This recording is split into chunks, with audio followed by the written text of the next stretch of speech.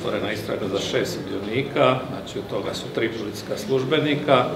Kako se dalje stvari odvijati vidjet ćemo, međutim, ajde iskoristit ću priliku da kažem, vidim po medijima puno, da tako kažem, kritika, što je da pače opravdano, jer u ovom slučaju, kako se pokazalo, policijski službenici, postoji za sada oslobodna sumnja da su zloporabili svoj položaj i oblasti, znači da nisu utvrđivali e, činjenično stanje i da su počinili pogreške prilikom e, postupanja po toj prometnoj nesreći.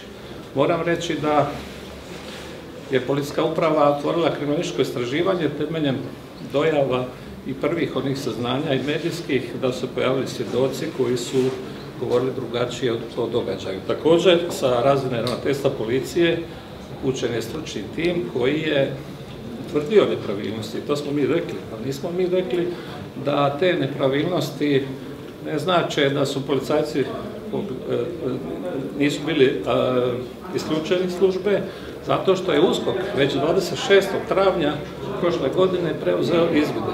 Znači, kad se pojavila sumnja da se radi o koruptivnim kaznenim dijelima, tada je obavješteno i nadležno najprije općinsko odvjetništvo je prije toga, kada se pojavile indicije da se radi o kaznenim djelima zlouporabe položaja ovlasti, tada je e, USKOK e, preuzeo izvide. Ja sam rekao da je utvrđeno tada niz nepravilnosti, ali da je sve taj izvješće, da je, da je e, proslijeđeno nadležnom državnom odvjetništvu, odnosno specijaliziranom odvjetništvu uskoku. Prema tome, Jesu li tada, policajci ostali na svojim radnim mjestima? Policijski službenici za tada nije bila potvrđena osnovana sumnja za ovo što im se danas stavlja na teret. Prema tome, nikakvog zataškavanja nije bilo jer policija ne može sama sebe istraživati. Policija je utvrdila nepravilnosti, sve, kompletan spis je dostavljan nadležnom državnom odvjetništvu. Možete li molim vas reći da li je o toj nesreći kad se, nakon što se dogodila, s obzirom da se radilo o službenom vozilu i županu,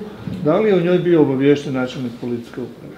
Da li se to utvrdilo? Ovako, e, kompletan, dakle, spis i sve što se utvrdilo je bilo dostavljeno u skopu.